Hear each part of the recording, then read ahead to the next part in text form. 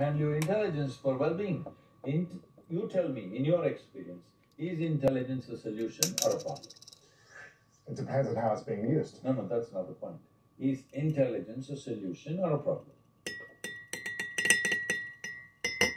Essentially, I feel like it's a solution. it is an absolute solution.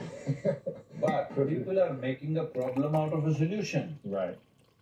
Right now, people are making a huge problem out of a solution. Mm. You think we evolve like this to create problems? We evolve like this to sort out everything Right. that other creatures cannot sort out, Right. isn't it? Right. But we are not able to sort out anything simply because we're crippling ourselves with these kind of things. So the most important thing is you have an intelligence, but you don't have a stable enough platform. That is a fundamental problem. If you do not create a stable chemistry, stable energy system, stable physical body, Cheers, everyone. Bottoms up. intelligence is the